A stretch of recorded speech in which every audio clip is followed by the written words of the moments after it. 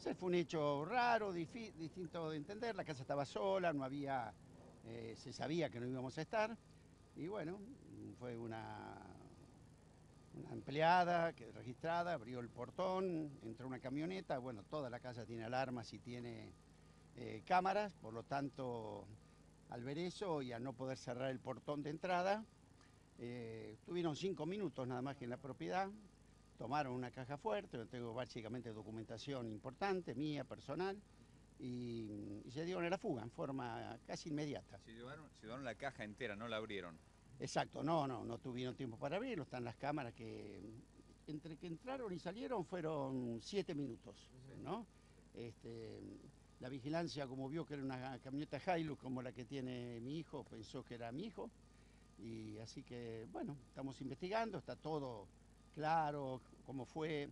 Después, cierto, los documentos con los que había presentado la, esta empleada no eran correctos. El auto que, con el que entraron, las patentes tampoco eran las, las que correspondía.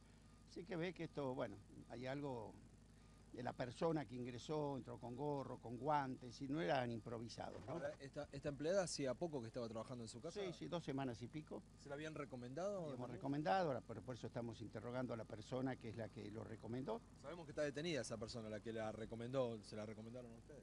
Sí, eso no, no- lo conozco, porque creo que ella tendrá las- la referencia, ¿no? Porque por lo que tenemos por los documentos, estaba claro que estaba preparado, ¿no? Para hacer algo de esto. ¿Quién es la persona que, la- que la recomendó, José Ignacio? La persona habitualmente, a nosotros ya nos ha recomendado como muchísimas, como siete, ocho personas, una persona de la zona que siempre trabaja habitualmente, ¿no? Con este tema.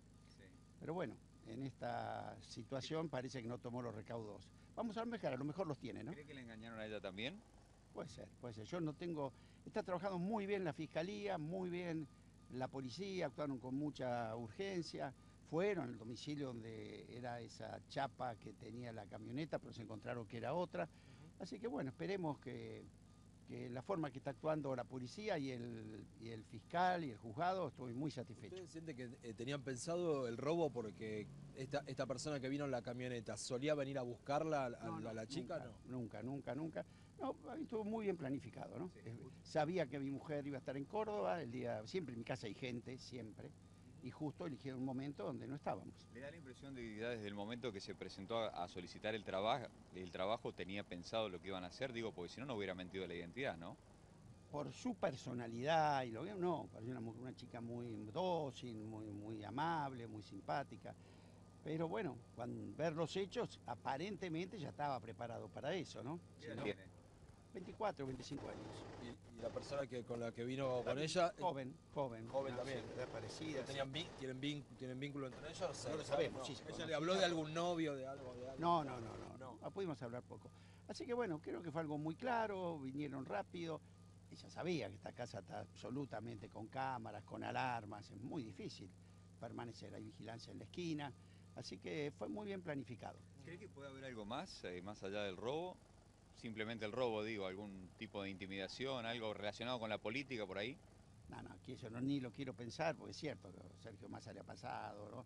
Pero no, no, para nada lo relaciono, porque, pero la verdad entraron y salieron, fue un tema como más de, de decir, acá estamos, ¿no? Porque ella sabía todo el dispositivo de seguridad que tiene la casa.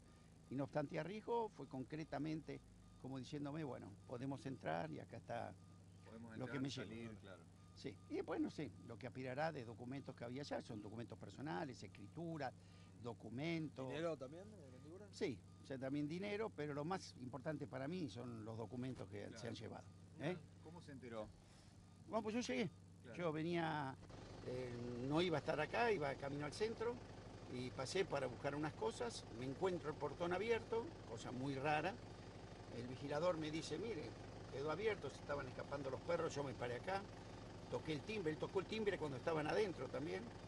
Y después vi salir la camioneta de su hijo. Pensó que era la camioneta de mi hijo la que ¿Es del mismo salido. color la camioneta? Sí, parece. Ah, Claro. Así que bueno, fue una cosa muy rápida, muy organizada, no eran improvisados.